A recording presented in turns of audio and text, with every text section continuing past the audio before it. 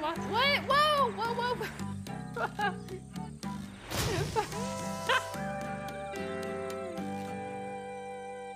Look at the happy owl. They could have just killed that man.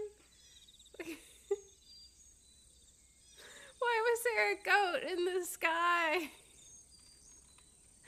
This is LumbearJack by Final Boss Games. we're gonna go hit that man. That's what we're gonna do.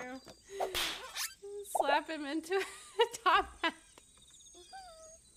Oh, great. What's on his hand?